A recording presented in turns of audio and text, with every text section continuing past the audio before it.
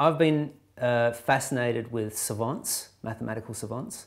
And there was a, a, guy I was, I was looking at, a young guy, 12 year old from the United States called Jacob, Jake Barnett. Actually, he did this thing on 60 Minutes where he visualized numbers. What does six look like? Six, that's like um, the edge points of that. So in this report, Jacob Jake Barnett was showing how much of a genius he is. And he actually showed a way that he visualizes numbers that's different. I've never seen it before. And the reporter didn't go into any detail. He just said, and this is how he sees 54.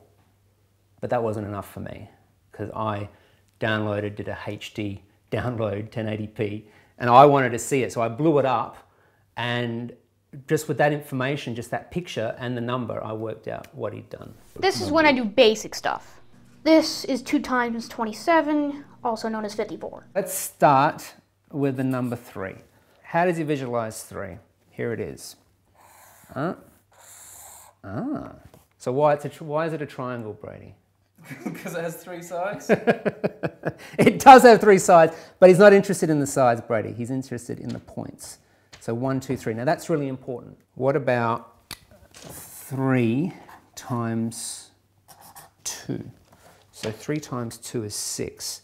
So you might think three times two, six, hexagon, okay? But no. And there's a reason why, is because a hexagon, six, six is not a prime number. So primes are important to mathematicians. So he wants to keep the primes. So now eh, he wants to keep it, so what he does, he actually puts a triangle on top of another triangle. One, two, three, four, five, six. So let's keep going. What about three times three? All right. So again, he starts with a triangle. Happens to be red. I don't know whether that was important or not. Three times three. He doesn't put three triangles on top of one another. No, no, no. Three times three, he puts triangles on the ends. So that's why the ends, the vertices are important. So we've got 1, 2, 3, 4, 5, 6, 7, 8, 9.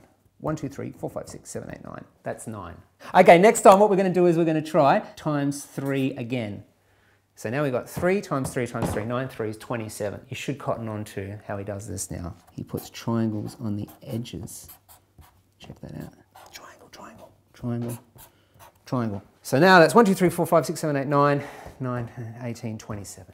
But the reason why I understood this is because this is called, what he's doing is, is prime decomposition. So the fact is the integers, the whole numbers, you can write any whole number in its atomic form, which is primes. This is like factorization. Exactly. This is 2 times 27, also known as 54.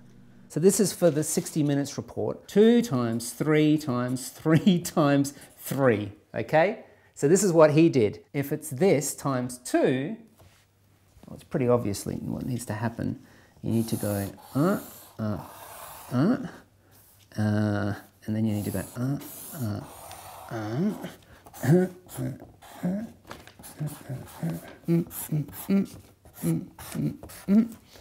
and then you need to go.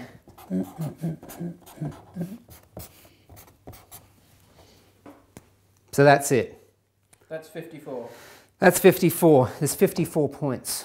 So what's really good about this, better than just having 54, is the fact that you can look into the number, which is pretty cool because you can look at it and if you were shown a number, you can go, oh, I know, I know what this number contains. It contains three, it's divisible by three, not once, because there's another smaller triangle, so it's divisible by three by three. And there's another smaller triangle again, so it's divisible by three by three by three. So it's like an X-ray. The only problem is you don't know what the number is just by looking at it readily.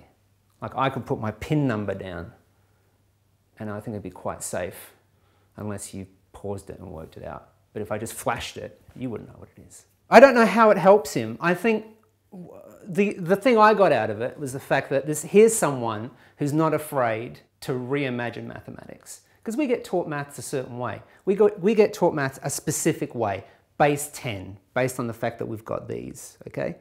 And, and that's not math, that's just one way of seeing maths. And so this is great because it's like, it's intuitive uh, i- it's, it's imaginative. Um, he's come up with it his own way. Sure, this is like, I saw the link to like what we'd say is like, you know, accepted mathematics, prime factorization of integers, accepted way. But I mean, this is a wonderful. And for me, I got to kind of try and understand this kid, this savant, who's going to go on and do amazing things. He's going to do amazing things.